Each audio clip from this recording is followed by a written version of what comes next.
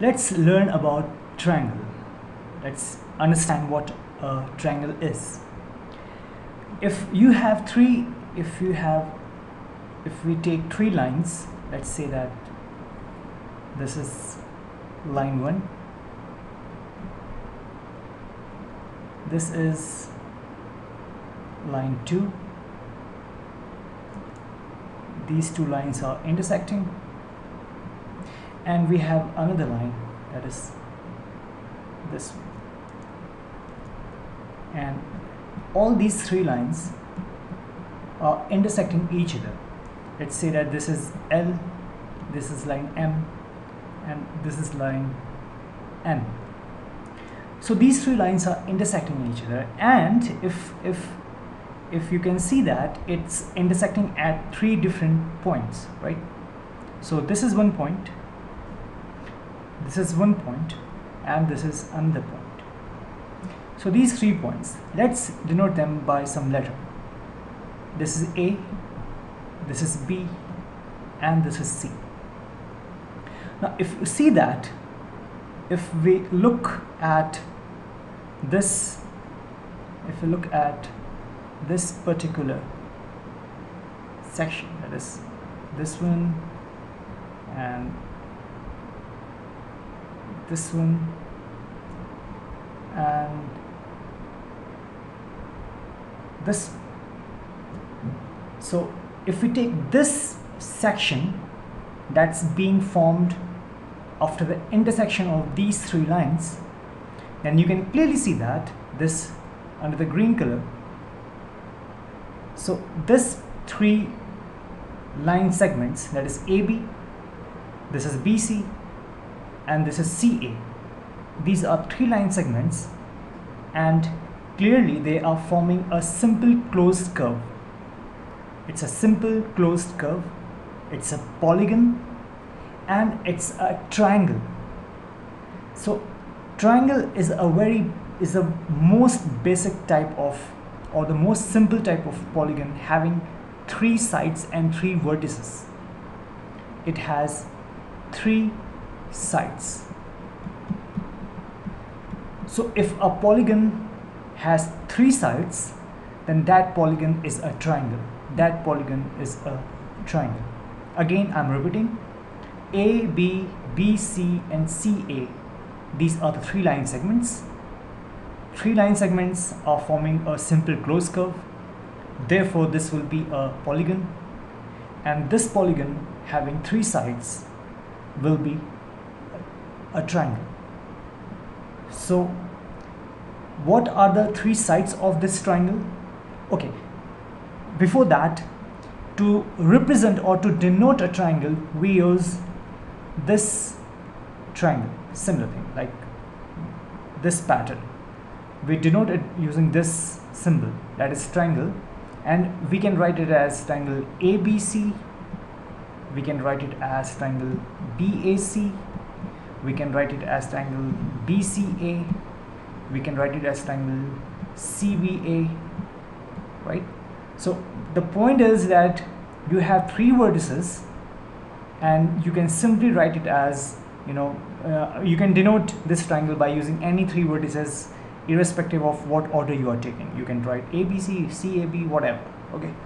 So this is a way to represent a, a triangle okay what are the three sides of this of this triangle? So of course this is side 1 AB then you have BC and then you have CA okay.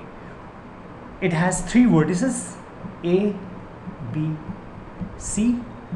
It has it has three angles. That is this angle this angle and this angle so the first angle is angle BAC second is angle ACB and angle CBA these are the three angles of this triangle. Okay let's take one problem. Okay so this is about uh, you know this is is the introduction to uh, triangle and if you remember that in the video series in uh, of uh, angles we discussed the interior and exterior to a given angle. So in this case also like any polygon like any polygon uh, triangle is also kind of polygon it will have a interior and exterior of this triangle. So this region this whole region that's that lies in between these three vertices that is enclosed between these three vertices this region this region this will be interior. This will be interior of this triangle. This region will be interior and this whole outside region that is whatever lies outside of this triangle this triangle will be exterior will be exterior of this will be exterior of this triangle. So interior and exterior. And if there is any point let's say that if if we have if we have a point D here then D will be in the interior they will be in the interior of this triangle ABC if we have point E here is also interior to this triangle but if we have some point say X here and Y here Z here or say let's say a point H here. So these X y z and h these are exterior to this triangle okay? But if you look at this triangle abc then you can clearly see that though these are the vertices a b and c but they are on the triangle they are on the triangle. So these point vertices will always be on the triangle okay? And even if i take some point let's say if i take some point here if i take some point here and if i let's say that it is what is it is s then if I take it point T here if I take point U here then STU STU and the vertices ABC ABC these will be on the triangle. These points are on the triangle. On the triangle ABC so exterior interior and on the triangle. So this these are the three regions of any triangle. And if I ask you if I ask you that let's say that we have we have uh, something like this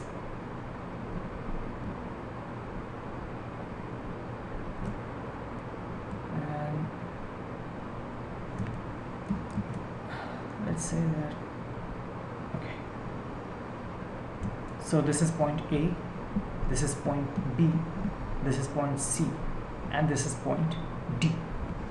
Now look at this figure very carefully and tell me pause this video and tell me that how many triangles are in this given figure. Okay. So if you can clearly see that points a, B and D. This is these three points are forming one triangle. So the first triangle will be triangle A B D. If you take points A D and C then these three points will act as vertices and they will form triangle A D C. If I take point a, B and C then these three points are forming another triangle and that is triangle A, B and C. So this is the way to tell how many triangles is uh, in a given figure. You have to just look at the figure very properly and just you know try to you know uh, just find out how many triangles is possible in this in any given figure using three points. And those three points will act as vertices of that given triangle